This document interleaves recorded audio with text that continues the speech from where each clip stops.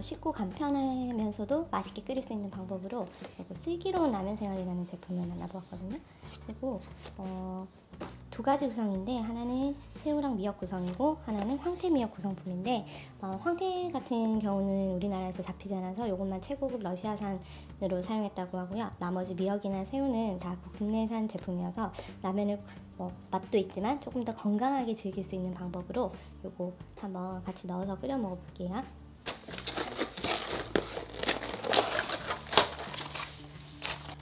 한 상자에 15봉씩 이렇게 낱개로 한 봉씩 다 포장이 되어 있어서 뭐 라면 끓일 때 한 봉씩 넣어 먹기만 하면 되니까 간편하게 먹을 수 있을 것 같아요.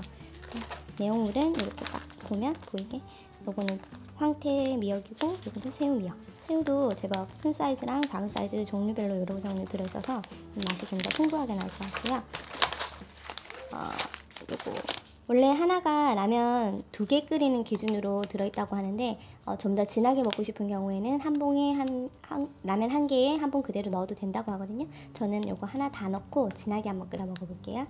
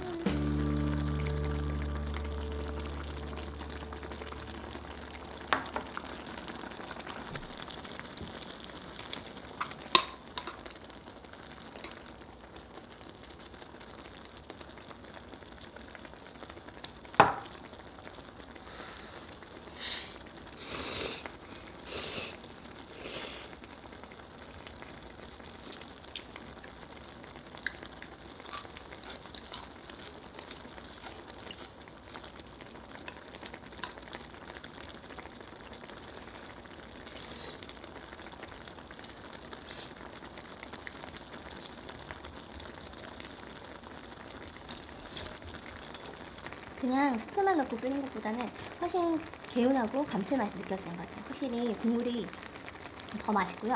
어, 저는 요거는 지금 황태 미역 넣고 끓였는데 어, 황태 건더기도 이렇게 큼직하게 미역이랑 황태 건더기도 큼직하게 들어있어서 어, 좀 좋은 것 같고 씹는 식감도 좋은 것 같아요. 재료가 더 풍부해진 느낌이라 라면이 좀 더 고급스러워지는 느낌?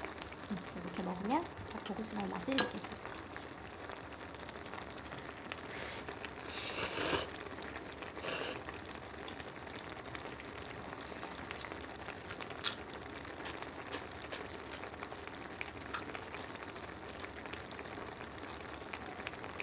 황태도 가시 같은 거 없이 깔끔하게 부드러운 식감이어서 어, 먹기 좋은 것 같고요. 음. 그리고 꼭 라면이 아니더라도 이렇게 캠핑 갈 때나 그럴 때 챙겨가면 뭐 기본 육수 내는 거나 이제 기본 맛 내는 용으로 찌개나 국 끓일 때 같이 넣으면 굉장히 유용하게 활용할 수 있을 것 같아요. 캠핑 가시는 분들 요거 쟁여두면 좋으실 것 같고요. 집에서 라면 많이 끓여 드시는 혼밥 하시는 분들이나 뭐 자취생 분들이나 뭐 우리 주부들도 사실 집에서 라면으로 하기 때우는 경우가 참 많은데 그럴 때에도 어 그냥 라면만 끓여 먹기보다는 이렇게 좋은 재료 더해서 맛도 더하고 건강도 더해서 먹으면은 좀 더 죄책감 덜하게 라면 먹을 수 있지 않을까요? 야식으로 먹을 때에도 좀 더 건강한 재료를 첨가해서 더 건강하게 먹으면 조금 더 건강한 느낌 있지 않을까 싶은 생각이 드네요. 음, 그리고 쟁여두면 좋을 것 같아요. 유용한 아이템인 것 같아요.